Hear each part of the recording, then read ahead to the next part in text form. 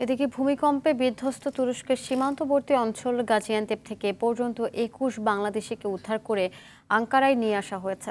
সেখানে আর কোনো বাংলাদেশের নিখোঁজ নেই বলেও নিশ্চিত করেছে পররাষ্ট্র মন্ত্রণালয়।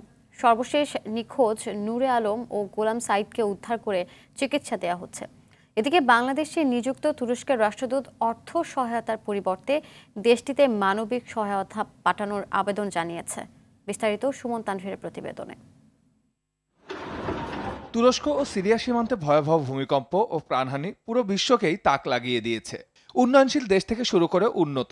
সবাই যার যার জায়গা থেকে বাড়িয়ে দিচ্ছে সহায়তার হার।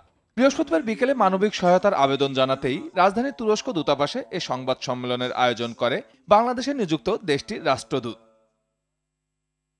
শুরুতেই বাংলাদেশের সহায়তার প্রতি কৃতজ্ঞতা প্রকাশ করে রাষ্ট্রদূত জানান, অর্থ সহায়তার চেয়ে তাদের এখন বেশি প্রয়োজন ঔষধ নিত্যপণ্য সহ প্রয়োজনীয় দ্রব্যাদি। এই মুহূর্তে অনেক দেশ ব্যক্তি প্রতিষ্ঠান তুরস্কে অর্থ সহায়তা পাঠাচ্ছেন। বর্তমানে আমাদের ওষুধ ও নিত্যপণ্য বেশি প্রয়োজন।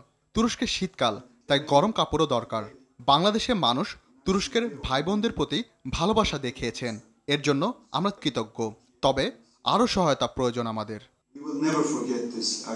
এদিকে দুপুরে পররাষ্ট্র মন্ত্রণালয়ের সাপ্তাহিক সংবাদ সম্মেলনেও প্রথমেই উঠে আসে তুরস্ক, সিরিয়ায় হয়ে যাওয়া ভয়াবহ ভূমিকম্প পরিস্থিতি। বাংলাদেশের তরফ থেকে বিভিন্ন কার্যক্রম তুলে ধরা হয় শুরুতে।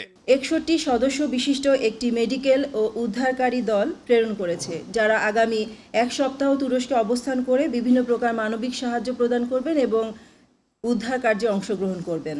পরে ওই অঞ্চলটিতে আটকে পড়া বাংলাদেশিদের নিয়ে কথা বলেন তিনি। জানান এ পর্যন্ত একুশ বাংলাদেশিকে উদ্ধার করে রাজধানী আঙ্কারায় পাঠানো হয়েছে। স্বল্প সময়ের মধ্যেই ভূমিকম্প ক্ষতিগ্রস্ত এলাকার প্রবাসীদের জন্য দুটি হটলাইন সেবা চালু করা হয়।